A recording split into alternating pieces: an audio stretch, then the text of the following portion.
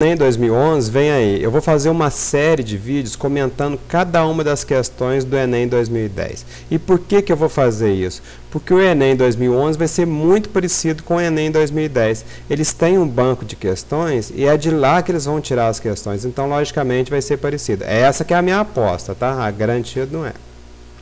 Então, qual é a estratégia? É a gente analisar com muito cuidado a prova de 2010, com muito afim, com muito detalhe. E como é que a gente faz isso? A gente faz analisando pela técnica do chute e pelo conhecimento tradicional combinados ao mesmo tempo. Hoje eu vou ensinar com vocês em vários vídeos a integrar os dois conhecimentos. Falou, moçada?